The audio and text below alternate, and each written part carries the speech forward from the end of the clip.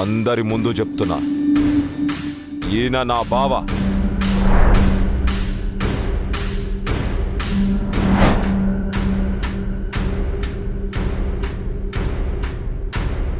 పంతులు గారు మా చిన్నతో తాలి కట్టించండి.